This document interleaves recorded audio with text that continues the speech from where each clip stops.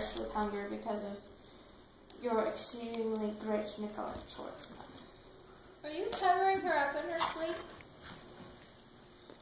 What? Because that can wake her up. What can I do? If she sees things outside the window. You got catnip off her? She's just being so dumb. one